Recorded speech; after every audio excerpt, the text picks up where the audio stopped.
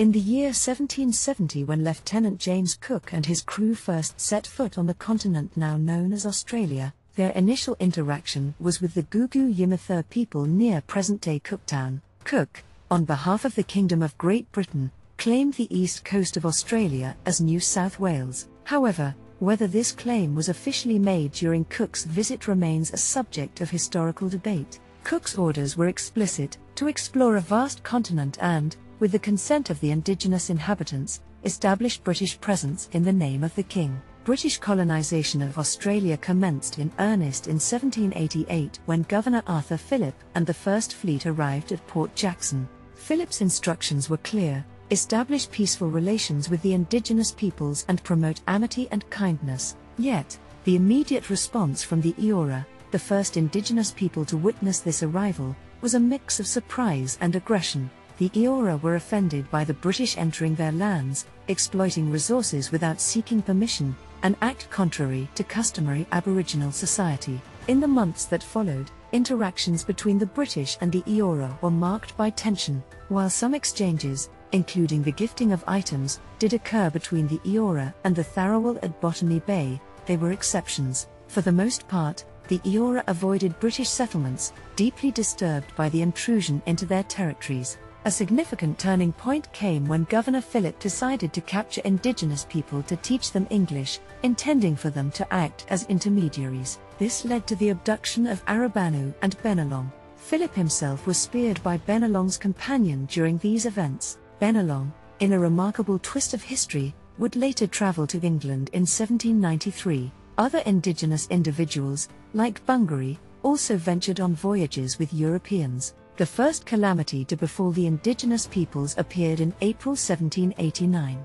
A disease, likely smallpox, swept through the Aboriginal communities around Port Jackson, leaving devastation in its wake. Before the epidemic, the population of the Eora was on par with that of the First Fleet settlers. However, after this catastrophic event, the indigenous population dwindled significantly, and by 1820, it was a mere fraction of its former self. In the generations following colonization, the Eora, Darug, and Ku-ring-gai peoples were pushed to the fringes of European society.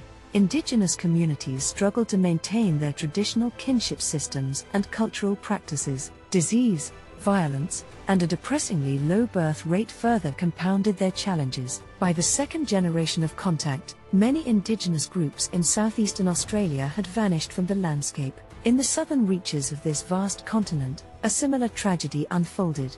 Aboriginal Tasmanians first encountered Europeans during the Baudin expedition in 1802. Surprisingly, the French explorers showed greater friendliness to the indigenous people compared to their British counterparts further north. However, darker aspects of European interactions soon emerged. European whalers, visiting the Bass Strait Islands in 1800, engaged in the kidnapping of Aboriginal women.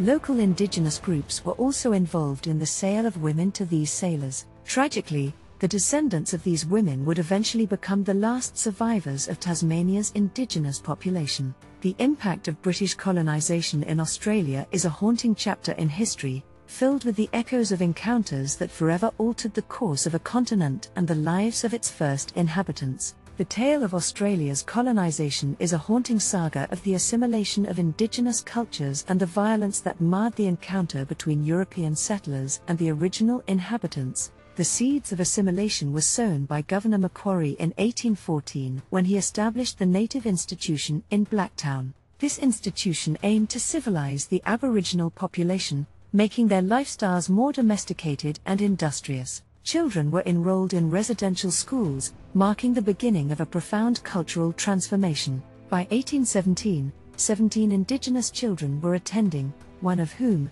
a girl named Maria, astounded everyone by winning the top prize in a school exam in 1819, surpassing even European children. Unfortunately, the institution's doors closed soon after due to expenditure concerns. Macquarie's attempts to resettle 16 Ku-ring-gai people at George's Head also faced challenges, as the families quickly sold their farms and departed. Christian missions sprouted across the land in places like Lake Macquarie in 1827, Wellington Valley in 1832, and Port Phillip and Moreton Bay around 1840. These missions were not just about religion but also involved learning indigenous languages. In 1831, a missionary translated the Gospel of Luke into Awabakal, a significant step in cultural exchange. Indigenous people often sought food and sanctuary at these missions. However, when supplies ran low, many indigenous individuals left for pastoral stations in search of work.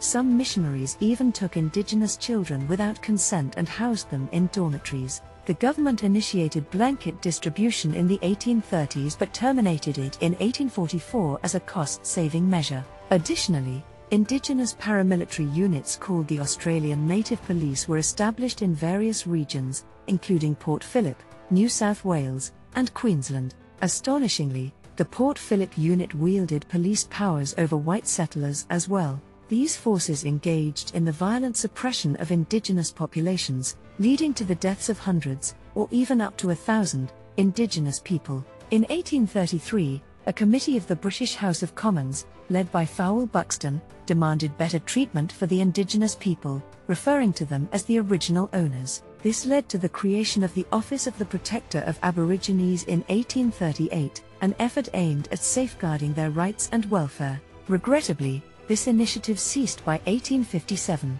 Nonetheless, the humanitarian efforts did lead to the Wasteland Act of 1848, which granted indigenous people specific rights and reserves on the land. It's important to note that assimilation wasn't a one sided process. Some Europeans found themselves absorbed into indigenous cultures. William Buckley, an escaped convict, lived among the Wathaurong people near Melbourne for 32 years before being rediscovered in 1835. He fully embraced their language and customs. James Morrill, an English sailor shipwrecked off the northeastern coast in 1846, was adopted by a local clan of Aboriginal Australians, adopting their way of life 17 years. The arrival of Europeans in Australia was, unfortunately, not marked by peaceful coexistence but rather by conflict, pain, and tragedy. As European settlers pushed further into the continent, prolonged conflicts followed their advance. This era of violence claimed the lives of an estimated minimum of 40,000 indigenous Australians and between 2,000 and 2,500 settlers in what are now known as the Frontier Wars. Recent research in Queensland suggests that the indigenous death toll may have been much higher, particularly due to its larger pre contact indigenous population. In fact, it's believed that up to 3,000 white settlers lost their lives in the frontier violence. One of the earliest indigenous resistance leaders was Pemulwuy in Sydney, who waged a guerrilla style warfare on the settlers during the Hawkesbury and Nepean Wars from 1790 to 1816. After his death in 1802, his son Tedbury continued the campaign until 1810. The response from the British authorities was to ban Aboriginal groups of more than six people and restrict them from carrying weapons within two kilometres of settlements. Violence also erupted beyond the Cumberland Plain, with the Bathurst War against the Wiradjuri and the Black War in Van Diemen's Land. In the latter, indigenous warriors, including leaders like Mosquito and Tarenorerer, retaliated against settlers in response to the expansion of settlements and sheep farming.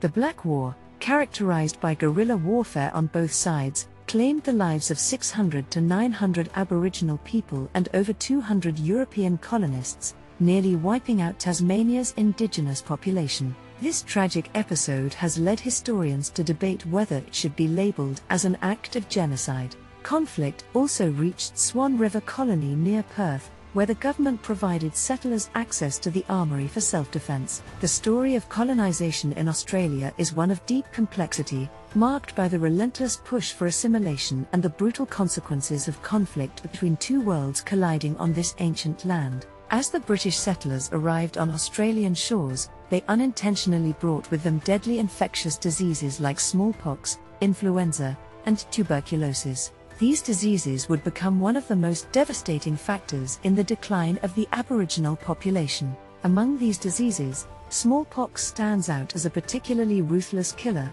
responsible for claiming more than 50% of the Aboriginal population. In April 1789, a major outbreak of smallpox erupted, sweeping through indigenous communities between Hawkesbury River, Broken Bay, and Port Hacking. The Aboriginal people of the Sydney region had never encountered this disease before and lacked immunity against it. Frightened and unable to comprehend the sickness, many fled, leaving the sick with some food and water to fend for themselves. As clans scattered, the epidemic spread further along the coast and into the hinterland. The consequences for Aboriginal society were catastrophic. Many of the skilled hunters and gatherers who played vital roles in their communities fell victim to the disease. Those who survived the initial outbreak faced starvation due to the loss of their productive members. The origins of this smallpox outbreak have been a subject of debate. Some have suggested that Makassar fishermen accidentally introduced smallpox to Australia's north,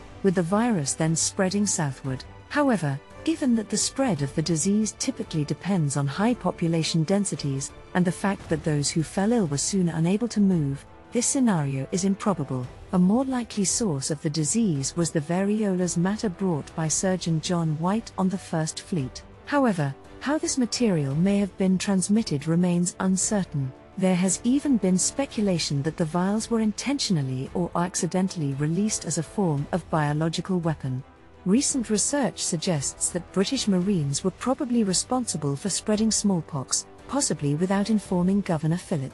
However, despite these theories, today's evidence only allows for a balancing of probabilities. In 1822, the British government reduced duties on Australian wool, sparking an expansion of sheep numbers and increased immigration. Sheep thrived in the arid western plains, but this transformation had profound environmental consequences. Settlers' cattle consumed local grasses and trampled waterholes, leading to a decrease in vital food sources like murnong and the spread of new weeds. Traditional diets were altered as meat sources like kangaroo and the Australian brush turkey were replaced by cattle. Indigenous peoples had to adapt to these changes by appropriating settler resources, such as taking sheep and raising their own flocks. New economic products, like steel axes replacing traditional stone ones, disrupted traditional lifestyles. These steel axes were often given to younger indigenous people by settlers and missionaries in exchange for labor, diminishing established trading networks.